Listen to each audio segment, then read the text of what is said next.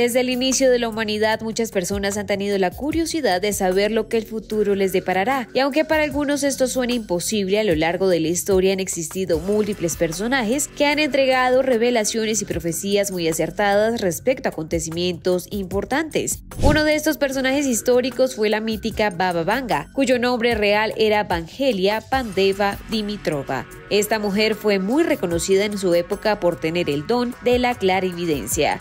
Según cuenta la leyenda, Baba Vanga perdió la vista después de ser levantada por un tornado a la edad de 12 años, lo que resultó en que sus ojos se llenaran de arena y con el tiempo perdiera completamente la visión, un hecho que marcó por completo su vida. A raíz de su ceguera se cree que logró desarrollar habilidades sobrenaturales, convirtiéndose en una figura muy consultada por muchas personas alrededor del mundo para prever eventos futuros.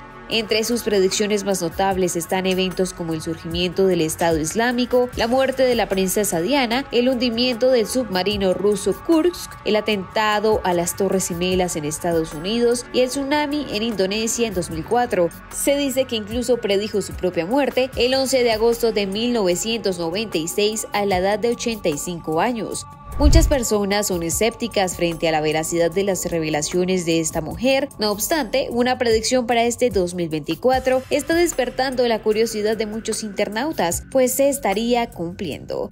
Se trata del inicio de la Tercera Guerra Mundial. En sus visiones, Vanga vaticinó que la gran guerra que azotaría a Europa en 2023, siendo esta la guerra de Israel. La clarividente afirmó que este sería un conflicto que perduraría hasta 2043, año en el que se establecería un califato musulmán similar a Al-Danus en la península en todo el continente europeo. Según información recolectada por The Mirror, Bababanga habría anunciado múltiples profecías para el 2024, como conflictos en los que las armas biológicas serían protagonistas. Un país grande podría realizar pruebas o ataques con armas biológicas. También habló sobre la muerte de un gran líder político.